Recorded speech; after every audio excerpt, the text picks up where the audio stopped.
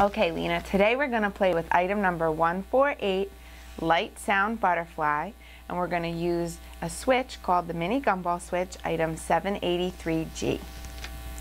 We're going to plug the switch in. It's going to go off once. Very good. Which color do you like the best? This one. The blue one.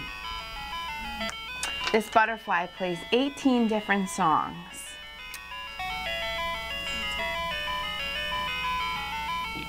This device requires two AA batteries that are located on the back of the toy.